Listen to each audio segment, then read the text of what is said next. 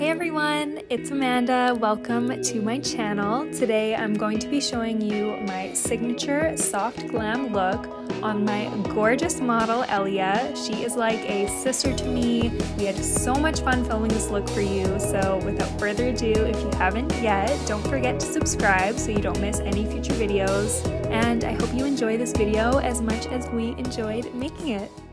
First things first, we're going to apply our base. Using the Charlotte Tilbury Magic Cream, I'm going to apply a generous layer all over her skin. I think it's really important to hydrate the skin before applying makeup so that the foundation and concealer can apply more smoothly. As you can see, using moisturizers also just brings life back to the skin and it really helps combat any dullness. Next, I'm going in with this Bye Bye Under Eye Cream by IT Cosmetics. I'm applying a thin layer under the eyes and on the lids as well. This cream helps to reduce any puffiness around the eyes and helps to hydrate the eye area. Of course, I'm using my favorite lip balm of all time. I'm applying a thick layer of my Laneige Lip Sleeping Mask on the lips to soak while I'm applying the makeup. This is the most hydrating lip balm I've ever used, so if you have not yet tried this, run, do not walk. You absolutely need to, it will change your life.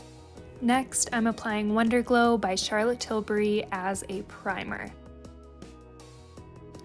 This product is a gorgeous product for many reasons. It gives the skin a gorgeous sun-kissed glow beneath makeup, it smooths pores, it also has anti-aging properties. This is even beautiful all on its own without any makeup on top of it. I like to focus this product on the center points of the face and along the cheekbones.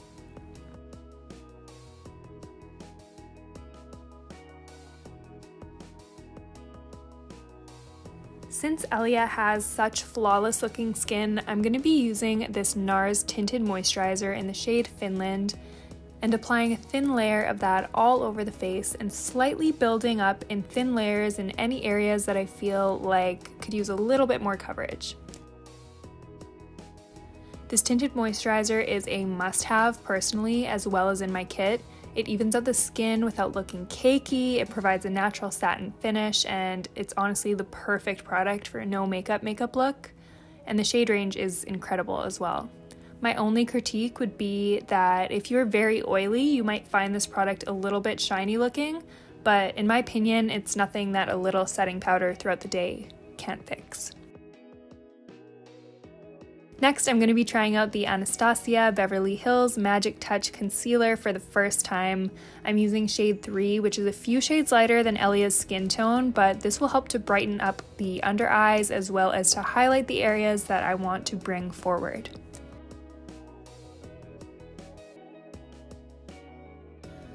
This concealer is definitely full coverage, a little bit goes a long way, but for a full coverage concealer, I was very pleasantly surprised by how seamlessly it blended out and it didn't look cakey at all. I would really love to try this on someone who has hyperpigmentation or acne scars to see how it covers and how it performs. To set under the eyes, I'm using the Laura Mercier Secret Brightening Powder on a pointed powder puff to make sure the concealer we just applied stays in place and doesn't crease at all.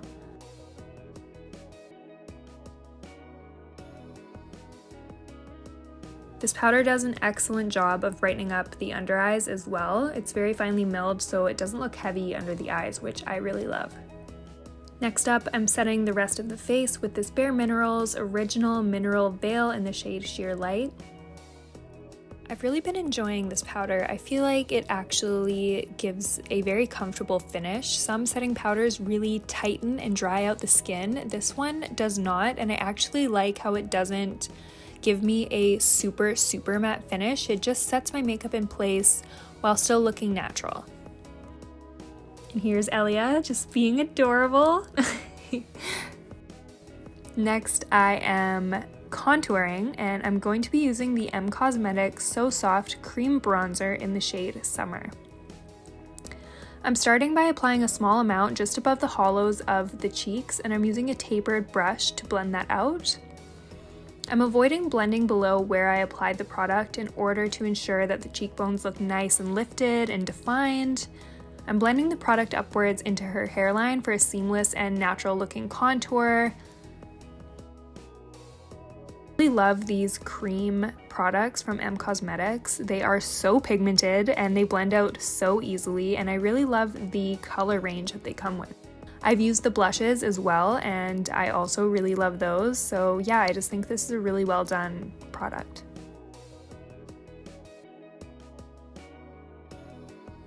I'm also going to apply a little bit of that bronzer on the perimeter of her forehead, and then same thing, blending it out with that same brush.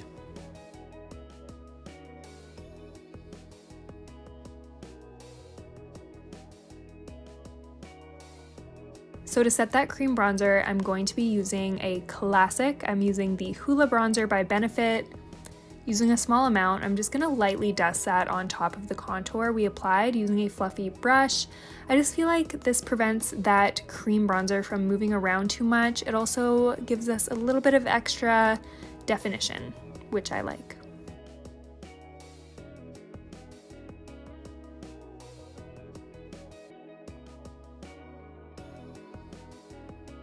To prime the eyes, I'm using my NARS Smudge Proof eyeshadow base in the shade Medium. Using a small fluffy brush, I'm applying an even layer to the eyelids.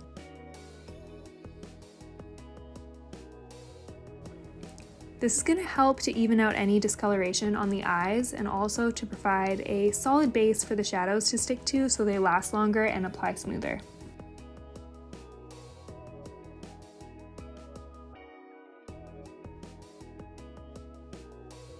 So sadly I dropped this absolutely stunning palette and broke it, but I am using this neutral brown shade from the Charlotte Tilbury Instant Eye palette and I'm going to be sweeping that shade throughout the crease. I'm also going to focus some of that color in the outer V to create some depth and just to define the eye. I'm basically using this as a contour shade for her eyelids. I'm using a fluffy brush and working in thin layers. I'm just kind of gradually building up that color until I'm happy with it.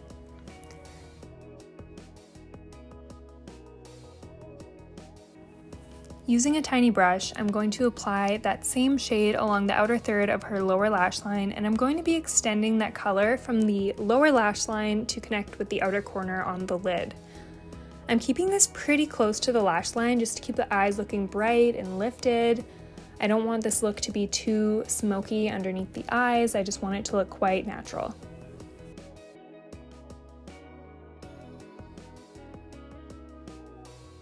Oh, and here is us just vibing, doing a little dance. We were just feeling vibey. We were listening to some lo-fi. Um, unfortunately, you cannot hear the song that was playing because I'm afraid of getting a copyright strike, but yeah. Using this NARS cream highlighter, I'm going to apply this all over the lid using a flat shader brush. I went with this light champagne shade because I love the way this catches light on the lid. I also wanted to keep the lids looking bright and glowy. I wanted to draw attention to the eyes in a subtle and soft looking way and I found this shade did just that.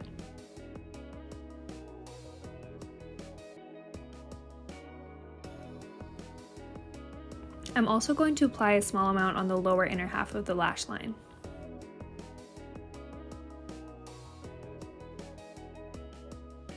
I'm going to dip into a different cheek palette by NARS, but using a powder this time, I'm going to go over the lid using this light shimmery shade to give a little extra dimension and a little added shine.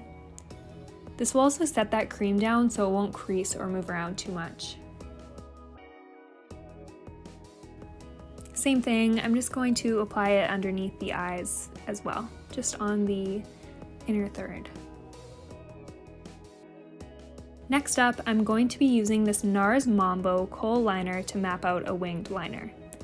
I'm just going to be extending the liner upwards following the angle of the lower lash line. On top of that liner, I'm applying this dark brown shadow from my Charlotte Tilbury Instant Eyes palette. I'm using a small angled brush and just softly blending that shade on top of the kohl to intensify the color slightly. And then if I need to, I take a little cotton bud. I actually got these ones in Japan and I just wet them slightly with some Bioderma and I use them to sharpen up the bottom edge of my liner. I really like to take my time with this. I like to make sure that my wings are even and they're both really skinny and snatched. I also do prefer brown over black for a soft glam look just because I feel like it's generally a bit more flattering than black. Not only is it not as dark and harsh, but I feel like it also brings out more color in the eyes themselves. It's a personal preference and you can totally do this look with a black liner, but I do generally gravitate towards dark brown. I also feel like when I set my kohl liner with a shadow, I can kind of diffuse the edges a little bit just to soften up the liner. I'm going to be applying this kohl liner from Swede in the waterline. I really like this liner because I find it always gives me the most natural look. I find sometimes when I use a light beige liner or even a white liner, it sometimes looks slightly unnatural. So with this liner, it always does just do exactly what I want and it naturally brightens the eye.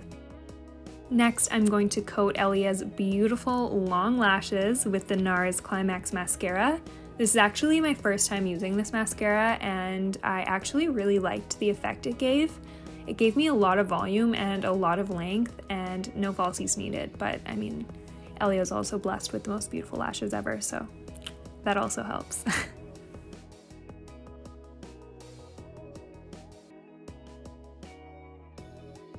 to line the lips, I'm going to be using this lip pencil from MAC in the shade Whirl.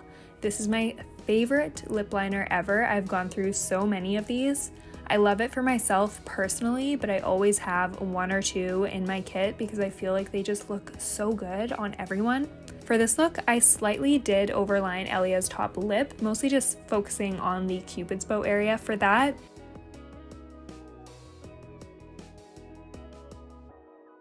And then I just lightly defined the outer edges of her lips following her natural lip shape.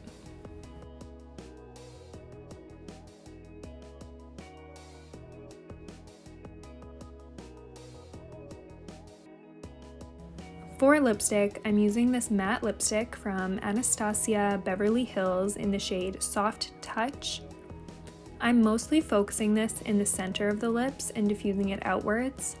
I really love this pale pink lip on Elia and for my signature glam looks I do generally gravitate towards a light neutral, whether that be a bit more of a brown or a pink. In this case I am going with a pink and I really am happy with this lip combination. To finish off the lip, I'm going to be applying this lip gloss from Fenty Beauty in the shade Sweet Mouth. This lip gloss does make the lips look so shiny and so juicy. The glitter in this lip gloss is really subtle and it catches the light so beautifully without having chunky glitters throughout. For blush, I'm going back into the NARS cheek palette and I'm using the pink shade and applying that on her cheeks. I'm getting her to smile for me slightly so that I can apply that to the apples of the cheek and blend upwards. For me, I always love blush. I like to apply blush quite generously, especially for a signature look. I just think it looks really beautiful and healthy and just pretty. For highlight, I'm going to be using that same palette and dipping into the same shade I used on Elia's eyes and I'm going to be highlighting the high points of her face. So I'm going to lightly dust that on the high points of her cheekbones as well as a little bit on the bridge of her nose and on the tip of her nose. I'm also going to apply a little bit of that highlighter on the brow bone.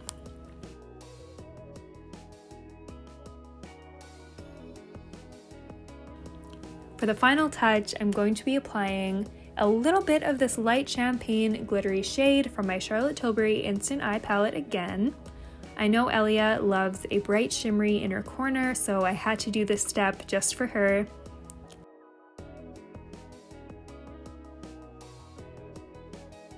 The shade is quite glittery, I do personally like that, but if you wanted to, you could totally use the same shade we used to highlight and just apply that in the inner corner if you wanted a little bit less of a glittery look.